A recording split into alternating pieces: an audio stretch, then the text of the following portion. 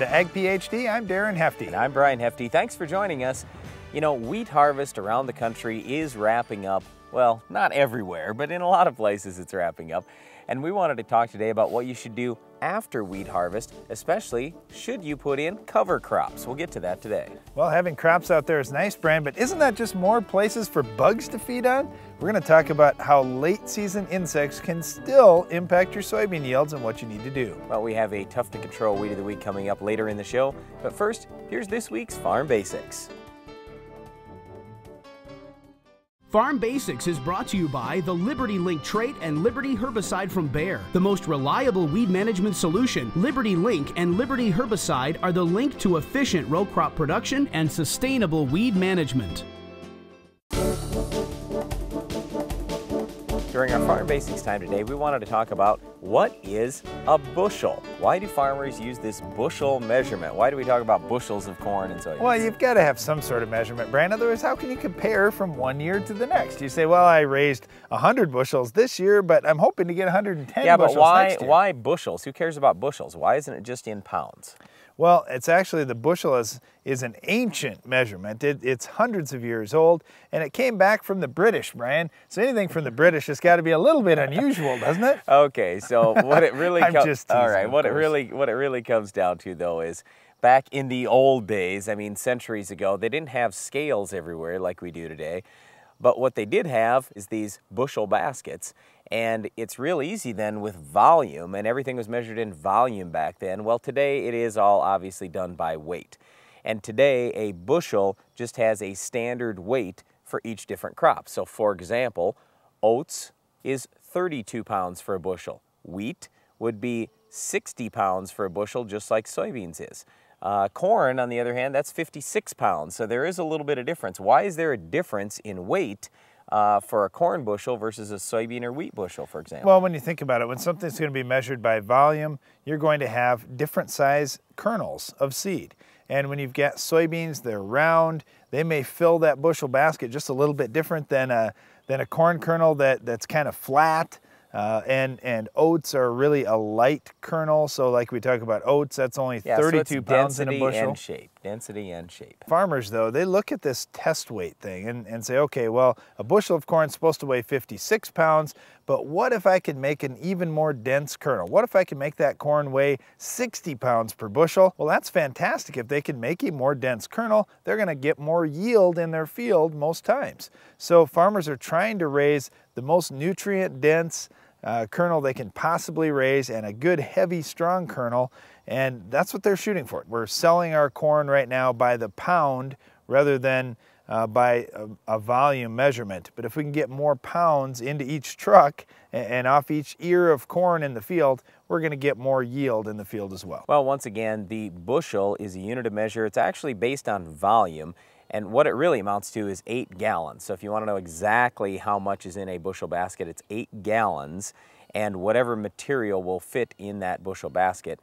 But you know, since uh, probably the last few decades here, we've converted everything over to pounds. So it's actually done in pounds on the farm, and then we convert it back over to bushels. I don't know why we do that, Darren. Well, it's just Seems fun, silly. Brian. You know, math, math is so fun. Like, like I like to count weeds, Brian. If you've got a million weeds out in your field, especially if they're our weed of the week, you need to get them under control or you won't have any yield to measure at all. Can you identify this week's weed? Back in 1966, Advanced Drainage Systems Inc. was the first company to start manufacturing plastic agricultural drainage pipe in the United States. And today, ADS continues our leadership with superior pipe production and service capabilities. Our roots are firmly entrenched in the agriculture industry, and we're committed to helping farmers grow their business. With 54 manufacturing plants and 24 distribution yards throughout the world, you can count on ADS and our green striped pipe to be there when you need us. Advanced Drainage Systems, the green striped pipe you can count on.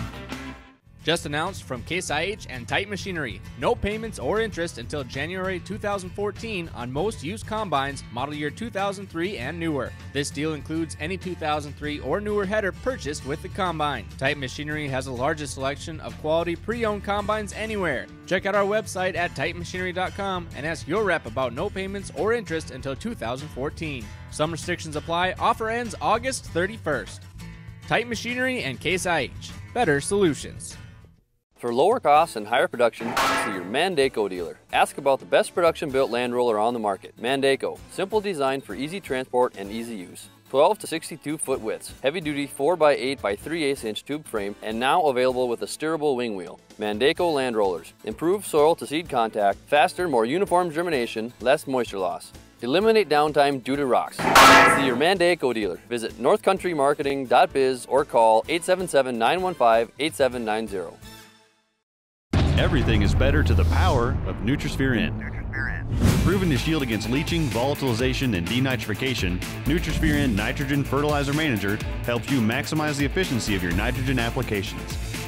In fact, research shows that in 184 corn trials, Nutrisphere N increases yields by an average of 13.2 bushels per acre. Do the math for yourself. Contact your local fertilizer dealer today and take your operation to the power of Nutrisphere N. Hey everybody, I'm Steve Azar, singer-songwriter. Really happy that Brad Swinson and Swinson Investments asked me to write the song American Farmer. American Farmer. I've had the pleasure of getting to know the fine folks at Swinson. And I gotta ask you, do you know what would happen to your farm if something happened to you? Swinson's works with farmers, lawyers, and their advisors to put together the best estate plan. Hey, you work hard for your farm. They work hard to help you keep it. Okay, Brian, so you got your wheat harvested, but it's a long time till we're gonna plant another crop Yep. here. What are you gonna do to protect your soils? Well, it's not just soil protection. I guess when we start talking about this whole thing in wheat and, and after harvest, what do you do? We want to get into cover crops. We think it's one of the most underutilized technologies there is on the farm today. And you know, Darren, I even had to get notes out because I started writing down, well, let What me think this? about all the reasons why I should use a cover crop. And there were so many, I didn't want to forget oh, something. Oh my goodness. So, okay, let's hear your list. Here's my list. Okay, so you talk about soil protection and erosion reduction was at the top of my list. So that was number one. Then it was increased soil organic matter, capture, recycle, and redistribute nutrients in the soil profile. In other words, it makes nutrients more available to the next crop. Promote biological nitrogen fixation, weed suppression, provide supplemental hay or grazing, use or conserve soil water. Now, it could go either way. You can either use it or you can conserve it depending on which cover crop you pick. Reduce soil compaction, salinity tolerance, attract beneficial insects, mycorrhizal fungi association. Plus, it's just fun. All it's right. fun to have something growing out there. All right. Well, there's a lot of things on the list there. Now let's let's talk about this list just a little bit because when you've got all those different things, you certainly aren't going to get that out of just one plant, Right. are you? Yep. And that's the whole thing. Most farmers who are planting cover crops are putting together two, three, four different seeds and they're planting that out there. And what I always tell farmers when I'm advising them on cover crops is what's your number one goal and start there and find the crop that is best to fill that number one goal. So let's say, for example, you had super high salt, high pH soil. You just want to get something growing out there, try to get something into production there at all. Well, then you might pick something like barley that has good tolerance. That makes some sense, Brian, but wouldn't you just start with something really basic like, hey, you know what? We just had a grass crop out here, wheat. Yep. Why don't I just look for some broadleaves so I have different bugs, different diseases, all those things? I don't want to have the same thing out here because what if you plant winter wheat again, which you're probably going to in this particular ground that we're Well, on? Well, it just depends. Okay, so let's say, for example, that with this wheat crop, my next crop was going to be soybeans. Well, then why would I want to put a broadleaf crop in when my next crop is going to be soybeans? The- The whole thing is what we're trying to get out of this cover crop deal is at least a couple months of growth to fill these many different purposes that it might be, whether it's to prevent erosion or to try to get something into production in high salt ground, to use some water, to conserve water, whatever it is. We just want a couple months of growth and then we're going to kill this stuff off either with frost this fall or we might kill it off with a herbicide. Well, I guess the other thing too is you don't want to plant something that you can't kill. And I know we see a lot of times where we have a drought year or a flood year, and all of a sudden guys will say, wow, we're going to run short of forage to feed livestock. I need to plant something out there. And there are actually some neighbors of mine that planted some shatter cane back in the day because, oh, that was a good food source for the cattle. And wow, they fought shatter cane in that field for the next 20 years. So you do have to be cautious about what you are planting, make sure it's something that you can control, and a lot of times you want to make sure that it doesn't go to seed. Uh, if you plant the right cover crop mix, uh, work with a reputable firm. You can find something that, that yes, in my 60 days that I'm going to grow this crop out before I seed something else in there or before winter kills it off, uh, it's not going to go to seed and I'm not going to have a problem next okay, year. Okay, when you talk about this reputable firm thing, what my opinion is, is you need to be talking to an agronomist. I mean, a good agronomist about what cover crops you're going to put in. Sometimes seed companies, they're just trying to sell whatever seed they have, whatever cover crop blend that they have, they don't even know necessarily how it's going to relate to you and to your particular soil. So just make sure you're doing a good job of that working with agronomist. All right, now let's get into some of the things, some of the reasons people don't use cover crops, Brian. One would be, all right, we're in South Dakota and it's yep. really dry. If I plant yep. another crop, it's just gonna suck all the water out. Yeah, and that was one of the things that I always believed too, but when you stop and think about it a little bit, where is that water going? The water's going into the crop and that crop's just gonna stay there. We're not taking any grain off or anything in most cases. I mean, of course, if you wanna uh, feed it to livestock, that's a little different deal. But in our case, we're just gonna leave it out in the field and what we can actually do, especially with some of these very deep-rooted crops, and in just two or three months, we can get extremely deep roots down there. We can suck some water out from way down deep, get it up into the crop.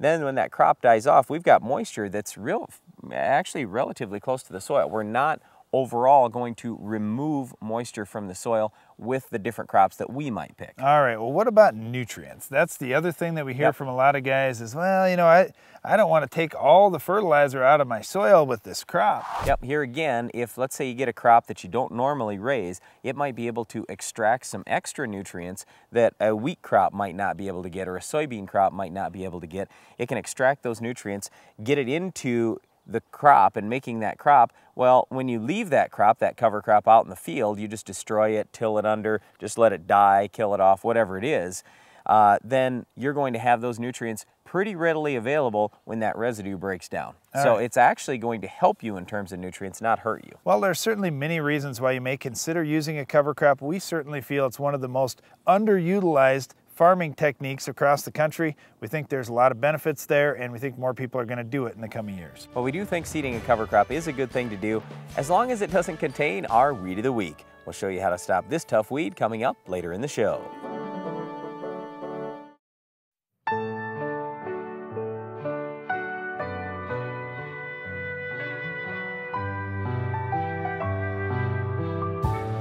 Over the generations, fertilizer the unsung hero of the farm, has been in the background, quietly nourishing crops with very little fanfare. Until now. Meet the next generation of fertilizer. Micro Essentials. Case IH set the standard for improving power and fuel economy with SCR technology, while others were still trying to decide what the standard was. Only efficient power from Case IH is proven in the field 10,000 times over. And you'll find it in all our high horsepower equipment, from tractors to combines to sprayers. The world of farming is changing. Will you be ready? I'm ready. To learn more about how you can be ready with a proven leader, visit caseih.com slash efficient power. Micronutrients are not optional for plants, they are essential. TJ Micromix is a profit-proven management tool that ensures the availability of essential secondary and micronutrients. Formulated as a dry granule or liquid, TJ Micromix is plant available, easy to mix and apply. The synergistic fertilizer mix delivers consistent yield response on a variety of crops by complementing an NPK fertilizer program. Maximize yield on your farm this season. Call TJ Technologies or your fertilizer dealer and get your TJ Micromix today. For years, FarmLogic has been the easiest and most convenient way to keep up with your farming operations. Well, it just got better. Introducing FarmPad for your phone. You always have your phone with you, so entering records as they happen is as easy as a touch of a button. Chemical database, GPS, service records, and more. When you do it on the farm, save it on your phone and it's backed up forever. Call or visit farmlogic.com for a free trial and find out why FarmLogic is the best decision tool for the farm. Why do more farmers choose Genuity VT Double Pro Rib Complete Corn Blend? For maximum yield protection. With two powerful ways to control above ground insects like corn earworm, corn borer, and fall armyworm. Plus convenient refuge in a bag with 95% traited seed and 5% refuge seed. That's simplicity. That's Genuity VT Double Pro Rib Complete Corn, the number one choice of farmers. Well, now it's August. Shouldn't we be done spraying bugs in soybeans, Darren? We could be, Brian, depending on where we're at in the country. If droughts completely wiped out our beans, but otherwise, if the beans are still alive and they haven't started to senesce yet for getting ready for harvest, yeah, you still need to protect that crop. Well, let's talk about that drought first. You know, a lot of guys already in early July, we're ready to just throw in the towel on everything. And don't get me wrong, I mean, the corn yield is made pretty early, and there is, I mean, there's certainly some areas around the country, even on our own farm, we're gonna have 20, 25 acres worth of corn. It's gonna make zero, absolute zero. When we've got pure sand, have no rain, that's the way it goes. But soybeans, it's a whole different deal. If you get some late rain, then you could still have fantastic soybeans. So the point is, don't give up on your soybean crop just yet. Well, the other thing, Brian, that I like to point out is this. All right, if you're in a drought type situation, yeah, you say, oh man, I don't know if I want to throw good money after bad. And I can understand yep. that thinking to some degree.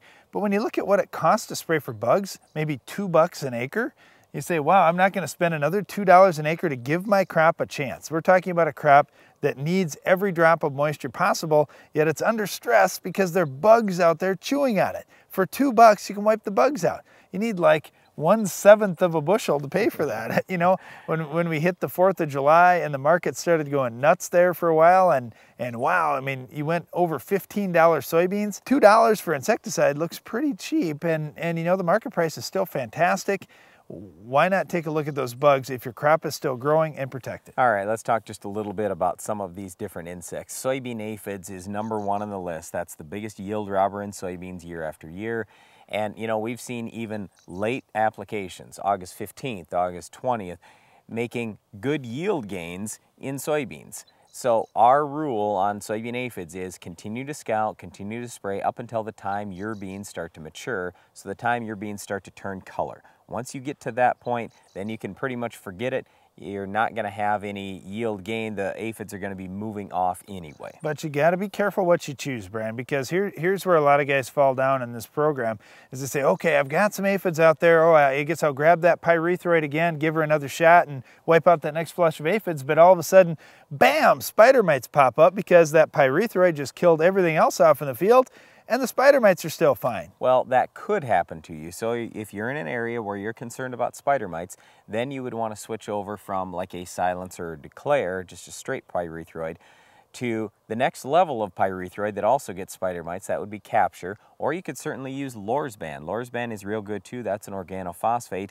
Uh, it's decent on aphids, quick knockdown, plus it has decent control of spider mites. All right, well that's nice, Brian. So you can kill the spider mites, you can kill the aphids, but here come the grasshoppers, and by this time of year, they've got wings now. So they're adult grasshoppers, and they're very difficult to control. That low rate of a pyrethroid isn't going to work anymore. No. You know, how, how is Lorsban at a low rate, or how is Capture going to do? Do you well, need to with, jack those yeah, rates with up? any of these products, I'd make sure you're using the full labeled rate if the grasshoppers now have wings. So that basically means they're in the adult stage. They've gone from uh, being the nymphs, now they're up to, to the adults, and adults are tough to kill. But if you use the full rate of whatever insecticide you're using, you're probably going to get them. But this has been such an unusual year. You know, you look at uh, all across the country, there have been insects that don't belong in that area that have blown in with winds and this kind of thing. And I've gotten all kinds of calls this year about, hey, I've got some thistle caterpillars. I've got, you know, some strange bugs. I don't even know what they are out there, but they're feeding on my leaves.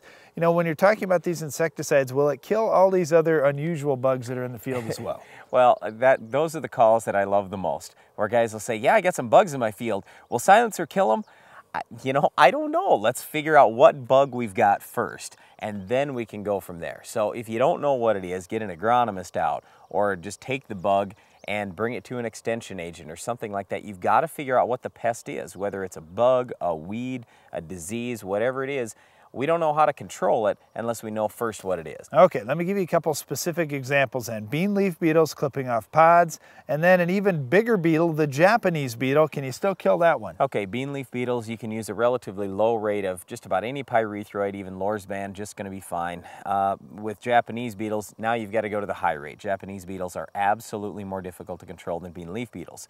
When we start talking about pod clipping, my concern here is the pre-harvest interval. So make sure you know what it is for the insecticide you're using. It might be 21 days, might be 28 days, it might even be 45 days. Well, if you already have pods on and they're fully developed, Are you really going to have to wait 45 days till harvest? Probably not. You're going to be sitting there November 1 saying, boy, you know, on my 45 days, it's finally about up. I, my corn's all harvested. Now I guess I better go get my beans. No, you want to be able to harvest your soybeans on time, so make sure you're picking the right insecticide and the right pre-harvest interval. Okay, well, one of those uh, unusual bugs is corn rootworm beetles. Now there's lots of different types of corn rootworm beetles and a lot of people have trouble distinguishing them from bean leaf beetles. Yeah, but honestly, we don't care. We can kill them all with the pyrethroids or Lorsban. It doesn't matter which type of corn rootworm beetle you have. All I know is if I've got corn rootworm beetles and I'm gonna be out there spraying anyway, I'm gonna wipe them out with any insecticide I use and it's a good thing. When, when you see corn, corn rootworm beetles, in your soybean field, they're there for one reason. That's to lay eggs. And next year when you plant corn, you're going to have rootworm larvae there. We don't want that. So if you do see rootworm beetles out there, go ahead and spray them. Well, fortunately, with most of these insecticides that we're going to control those late season bugs in soybeans, we can also mix something with it to control a late flush of our weed of the week. Can you identify this week's weed? You know how stressful it is when guidance systems go down. You lose field time you lose yield potential. You lose patience.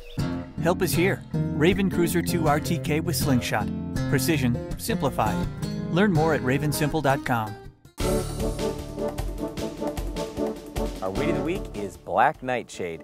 Darren and I, when we were growing up, we'd fight black nightshade a lot, and it was kind of a tough one because it would show up especially late in the season underneath that soybean canopy, hard to control. It absolutely ruined our summer because we had to keep going back and back and back until we had something with really good residual. In soybeans, black nightshades was terrible because those little berries would smash in the combine and they could actually plug the combine up if you had a lot of them.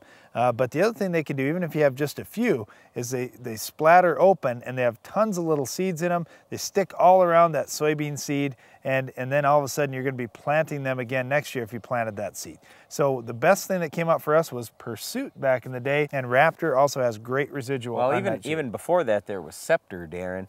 Uh, you know, you're probably too young to remember no, this, I remember Darren, Scepter, but... but... it wasn't that great on Nightshade, Brian. It just it wasn't as good as what Pursuit no, Raptor were. No, but it was pretty good. It was a dramatic improvement versus what we had because basically back then we, it was Treflan, Sencor, and Basagran were the key products. Oh my goodness! And none of those were very good no, no, no. on on. Uh, well, Black that's right, Nightshade. and it's still the same thing now. FirstRate's not that good on it either. We, you really have to go with Pursuit or Raptor, and even at a half rate, uh, the soil residual does a nice job. But killing them post-emerge when they're big, you have to add some Flexstar in there too. In corn, well, yeah, oh. if they're if they're big. So if these weeds are two to four inches tall, Pursuit will get them. But once it gets a little bigger than that, we think Flexstar is a much See, better I'm just choice. trying to move this thing along here, Brandon. Corn, nightshade really isn't a big problem. We can smoke it with status. That's our favorite product to use on black yeah, nightshade. but the pre's are pretty good too. I mean, even the dual outlook, harness, surpass, they're not terrible.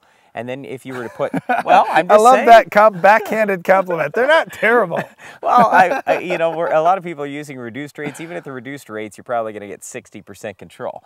So yeah, I mean, it's not perfect, but it's going to do a lot. Well, the great thing in wheat is we have this nice canopy. We normally don't have a big black nightshade problem. Uh, if you did, you could wipe it out with Husky. It does a nice job on it. Well, once again, black nightshade is our weed of the week. Make sure you get it under control because you don't want a bunch of black nightshade plugging up your combine. That's it for our weed of the week, but stay tuned. Iron Talk is coming up next. Iron Talk is brought to you by Case IH. The world of farming is changing. From the power and versatility of Steiger and Magnum tractors to the legendary reliability of axial flow combines, Case IH can help you be ready. To learn more, visit caseih.com forward slash be ready. Weed control often comes down to the smallest of details. We're going to talk about one of those little details that really doesn't cost much money you can change to improve your weed control in today's Iron Talk. With Roundup resistant weeds making weed control even that much more critical, anything that improves your weed control is important, but this year we saw pigweeds and lamb's quarters getting through our field cultivator pass. And when you think about it, there's no weed that's resistant to iron if it's done right. So if we can change something up on our field cultivator to have better control, why not do it? Well, the big difference that we saw this year is where 9-inch shovels were used in a one-pass situation, it actually worked. But where we used 7-inch shovels, it didn't. Now, where 7-inch shovels were used in a two-pass situation, it worked, but a lot of guys don't want to have to run over the field twice. They just want to do it once. So if you're one of those guys that wants to get by with just one pass of the field cultivator, then you should switch to the 9-inch shovels. Our cost is like 20 cents a shovel more to go with the 9-inch versus the 7, but that could certainly vary depending on what kind of shovels you're getting. The point is, it's not that much money to switch to a 9-inch shovel rather than a 7, and if you're going to do a one-pass situation and weed control is critical, that's the way to go. That's all for today's Iron Talk, and now, back to the show. Not a weed. Hi! It's, it's our agriculture liquid sales professional. Brian's never really liked salesmen. But I like him. I heard you talking about testing products to make sure they work. You know, Agriculture Liquid Fertilizers does more research to prove our products than any other fertilizer company. Yeah, I've seen your reports. There's a ton of proof. We've been to the North Central Research Station. We've seen AgroLiquid's 500 acre proving ground up close and personal. We know that when we use agriculture liquid fertilizers, it's like having all that research on our farm. It's like having Dr. Jerry and the team right here in your field. Doctor who? Find out how Dr. Jerry and his team can help you increase yields at www.farmguytv.com. Hey, we have field days at the North Central Research Station in late summer. You're all invited. Speed, strength, and efficiency make Capello corn heads a head above the rest. Built with polymer components that exceed industry standards, Capello corn heads continue to push the boundaries for maximizing grain retention while using less energy. Visit CapelloUSA.com and learn more about Capello's state-of-the-art chopping technology that cuts cleaner, allowing your horsepower to remain where it belongs, with your combine, so you can harvest faster in all weather conditions. Add to that an amazing folding feature, and it's clear to see why Capello is ahead above the rest. Everything is better to the power of Nutrisphere N. Proven to shield against leaching, volatilization, and denitrification, Nutrisphere N Nitrogen Fertilizer Manager helps you maximize the efficiency of your nitrogen applications. In fact, research shows that in 184 corn trials, Nutrisphere N increases yields by an average of 13.2 bushels per acre. Do the math for yourself. Contact your local fertilizer dealer today and take your operation to the power of Nutrisphere N.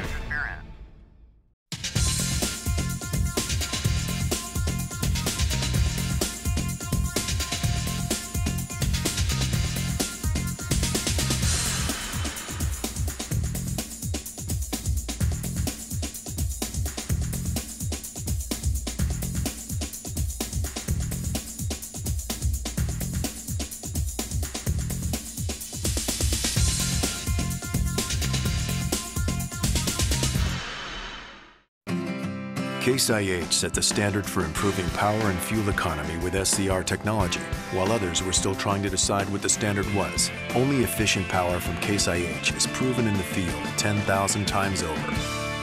And you'll find it in all our high horsepower equipment, from tractors to combines to sprayers. The world of farming is changing. Will you be ready? I'm ready.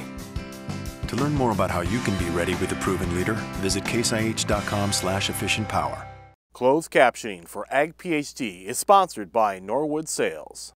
Introducing the all-new Backsaver Swing Hopper Auger Mover. Backsavers have interchangeable parts which allows you easy access to move or swing your augers to fit your harvesting needs. Get yours today at Norwood Sales. That's all the time we have for today's show, but be sure to tune in again next time for another Weed of the Week, Farm Basics, Iron Talk, and much more. I'm Darren Hefty. And I'm Brian Hefty. Thanks for watching Ag PhD. American ethanol is made primarily from corn. Did you realize that the type of corn used for ethanol and livestock feed is much different than the sweet corn on your dinner table? For more information, visit the Responsible Nutrient Management Foundation at rnmf.org.